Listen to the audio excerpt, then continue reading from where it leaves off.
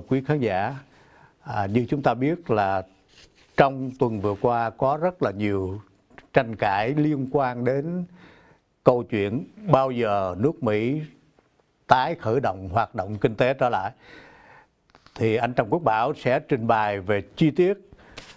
của những cái tranh cãi này và cuối cùng thì không biết là chúng ta một tháng 5 hay là 15 tây tháng 5 thưa anh Bảo?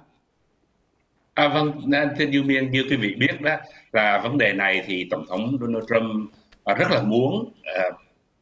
mở cửa lại hay là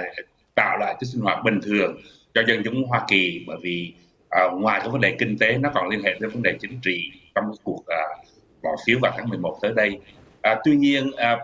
xin ban kỹ thuật chiếu dùng hình số 06 để chúng ta thấy được cái trong cái cuộc họp báo với những Leo nhân lấy sự cái hình số 6 để và hình số 6 đó hình số 6 để thấy cái sự liên hệ. Đây vâng quý vị quá quen thuộc với những hình ảnh đây. Quý vị thấy uh, tổng thống Donald Trump đứng bên cạnh à, hai vị bác sĩ là ông Anthony Fauci và bà Deborah uh, Brooks. Hai vị này là hai người ở trong cái ủy ban à, phòng chống uh, coronavirus của uh, chính phủ Hoa Kỳ và là những người mà có thể gọi là rất là uy tín. Thì uh, chủ trương của uh, tổng thống Donald Trump như chúng ta biết là ông muốn mở cửa sớm cho cái sinh hoạt kinh tế trở lại. Nhưng mà về mặt à, y tế đó, y về mặt sức khỏe và y tế thì những chuyên viên về y tế như hai vị bác sĩ có trên hình đó thì đều đề nghị rằng là chúng ta nên à, nước Mỹ nên hoãn càng trễ càng tốt. Bởi vì nếu không đó thì có thể sẽ nếu mặc dù như chúng ta vừa trình bày có một số địa phương cái tình trạng coi lên đỉnh điểm và có thể bắt đầu bớt như là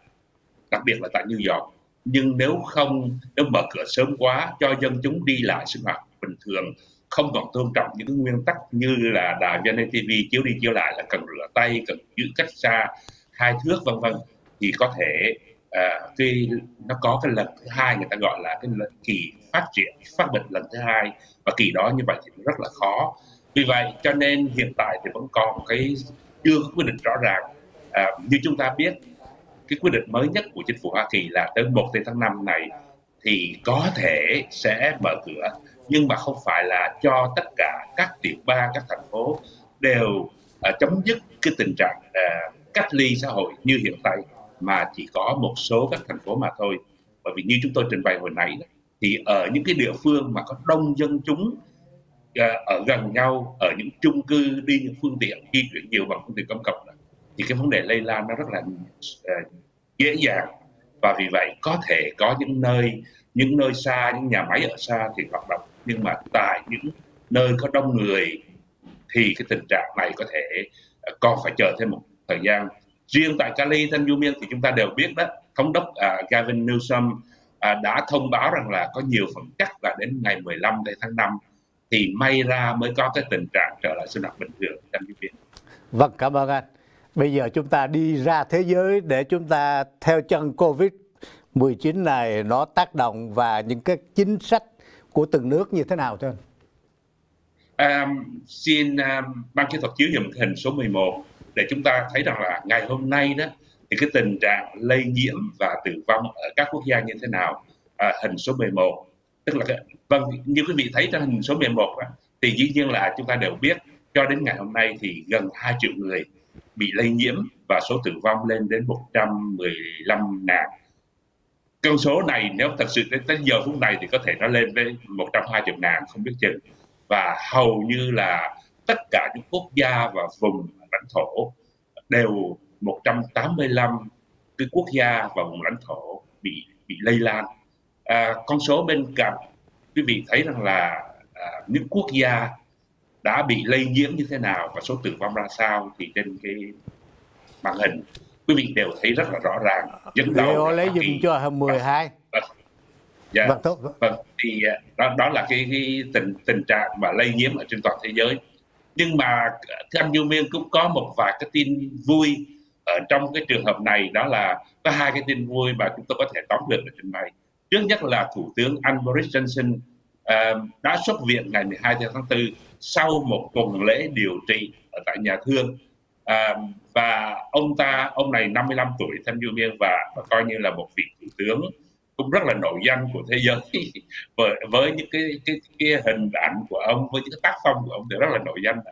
Nhưng mà thật sự ra ông chưa trở lại làm việc anh Junior ạ. Và hiện tại ông vẫn còn tính dưỡng đó đó là một cái tin có thể gọi là đặc biệt cái, cái tin vui thứ hai đó là tại ý thì số tử vong cho đến ngày hôm nay à, tương đối nó vẫn còn cao nhưng mà số người chết đó thì à, có vẻ giảm sụt thanh du biên. À, và vâng. như vậy 19.899 người thiệt mạng. Nhưng mà cái số người à, nhiễm bệnh cũng như người chết càng ngày càng bớt đi. Vì vậy người ta hy vọng rằng là trong thời gian tới đây đó thì ý sẽ qua được cái uh,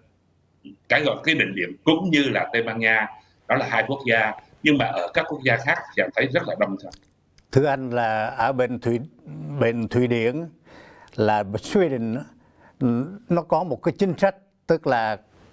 tỉnh bơ không có đóng cửa nhà hàng không có làm gì hết. Thưa anh anh có thể trình bày chi tiết không? Vâng, đăng cái thuật chiếu dùm số hình 12 đó để chúng ta thấy được cái uh, bản đồ của nước Thụy Điển. Nước Thụy Điển là một trong bốn nước Bắc Âu uh, trên du biên và và đặc biệt đó Thụy Điển. Chúng ta biết là dân số chỉ có 10 triệu mà thôi uh, và cái uh, tương đối đất đai thì rộng nhưng mà ở những xứ tuyết ở vùng Bắc Bắc cực cho nên lạnh lẽo đó. Uh, tuy nhiên phải nói là một quốc gia rất là trù phú lợi tức tính theo đầu người trên du biên và thưa quý vị đó là 56.628 à, Mỹ Kim. Lợi tức tính theo đầu người và đứng hàng đầu của thế giới thành như biên à, khác với các quốc gia khác chẳng hạn như Mỹ của chúng ta đây là Âu Châu cũng là nhiều nước ở Á Châu đó thì đều áp dụng cái phương thức gọi là à, cách ly xã hội cách xa nhau như chúng ta vừa trình bày là phải hai hai thước cách xa nhau đóng cửa các cơ sở làm việc vân vân. Nhưng như anh Du Miên vừa nói hồi nãy tóm được hồi nãy đó Thụy Điển vẫn cho dân chúng sinh hoạt một cách bình thường. Chợ búa vẫn mở cửa các tiệm ăn vẫn mở cửa và ngày hôm qua lễ Easter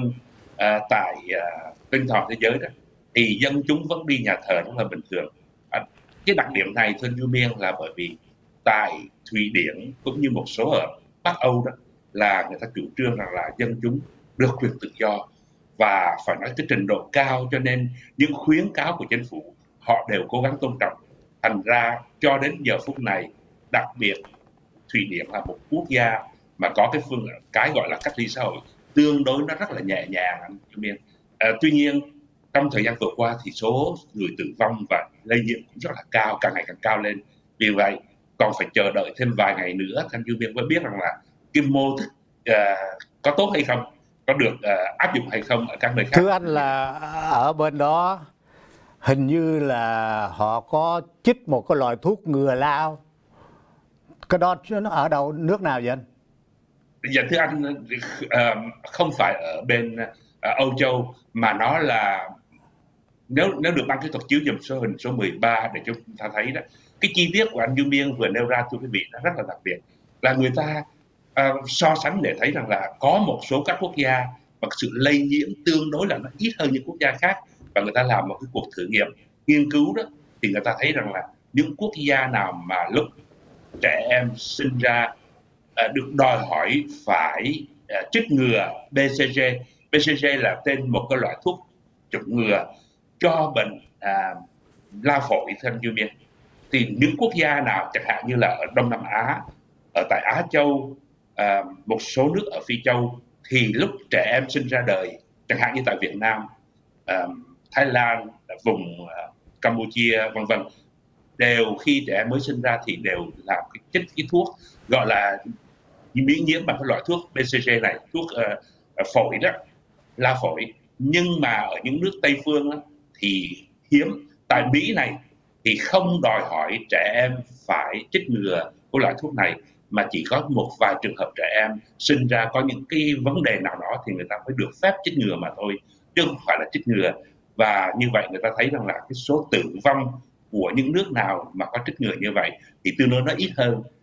cho đến bây giờ đây chỉ là một cái nghiên cứu sơ bộ thôi anh Du Miên chưa vâng. chắc là như vậy nhưng Thế mà nếu đúng là như vậy thì giải thích tại sao mà Việt Nam và một số nước Đông Nam Á tương đối là ít lây nhiễm hơn là Âu Châu hơn. Còn cái vấn đề mà thuốc chủng đó thì nó có tiến triển gì không anh? À, phải nói cho đến bây giờ thưa anh là cái thuốc chủng uh, ghi nhận rằng là chưa có những cái thử nghiệm nào rõ ràng 145 quốc gia 145 cái cơ sở y tế để cố gắng nghiên cứu thuốc triển và cho đến giờ phút này thì có 70 cái thử nghiệm nhưng mà thưa anh nếu thật sự ra nó có hiệu quả thì phải chờ tới cả năm nữa mới có như vậy ạ chứ chúng ta không hy vọng là nó có sớm Vâng, à, thưa anh còn à, cái Apple với Google nó hợp tác về kỹ thuật, đây là cái tin cũng hay lắm anh. Dạ, à, thưa đúng như vậy. À, tuần vừa qua, thứ sáu vừa qua thì có một quyết định và nếu được ban kỹ thuật chiếu dùm cái hình kế tiếp đó là cái hình số 15 cái hình này đó tôi chọn là bởi vì nó nó lồng giữa hai cái logo hai cái uh, huy hiệu của Google và của Apple với nhau. Quý vị biết đây là hai cái công ty nó rất là lớn hai cái cái, cái công ty phải nói rằng là hiện tại có hơn 3 tỷ rưỡi người trên toàn thế giới này sử dụng cái các cái um, ứng dụng của hai cái công ty mà điện tử của Mỹ này đó. và hai cái công ty này tuần lễ vừa qua vừa công bố là họ hợp tác với nhau để tìm ra để cùng cộng tác à, sáng chế ra một cái loại ứng dụng mà nếu cái ứng dụng này áp dụng được đó và hữu dụng đó thì nó sẽ cho biết là những cái phone của chúng ta nó có một cái ứng dụng là cho biết những người nào gần chúng ta có bị nhiễm bệnh. Dĩ nhiên những người đó phải uh, cung cấp những cái dữ kiện về tình trạng cá nhân của mình với cái cơ quan y tế của địa phương. Và như vậy thì tự động những cái phone khác những cái phone cá nhân khác đều có biết được rằng là người nào gần chúng ta đương bị nhiễm bệnh hay là đã từng nhiễm bệnh hoặc là gọi là thử có dương tính thì trong trường hợp như vậy đó nó sẽ giúp cho chúng ta đề phòng và tránh xa những cái trường hợp đó à, nếu mà áp dụng được cái này thì à, thưa anh Du Miên và thưa quý vị có lẽ nó sẽ giúp cho vấn đề lây nhiễm bị kiểm soát à, khó khăn hơn thật sự vâng. ra đó, thì Singapore đã áp dụng cái kỹ thuật này rồi anh à, và vâng, vâng. nhưng mà nó ở trên quy mô nhỏ mà thôi nhưng mà vâng. nếu hai Cảm cái công ty này họ đồng ý như vậy thì rất là lớn Vâng, chúng ta sẽ trở lại chương trình sau vài phút còn ha.